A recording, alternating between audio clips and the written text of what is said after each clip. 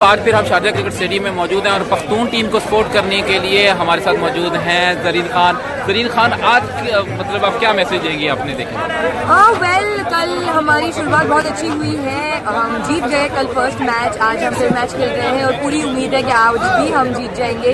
and uh, क्योंकि हम cricket इतने अच्छे कॉज के लिए खेल रहे हैं हम क्रिकेट पीस के लिए खेल रहे हैं तो आई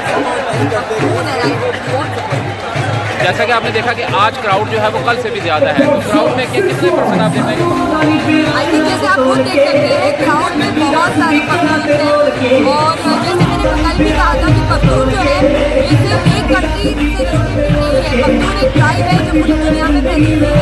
और आई एम सो हैप्पी कि सारे पकड़ून from all over the world have come here and they showing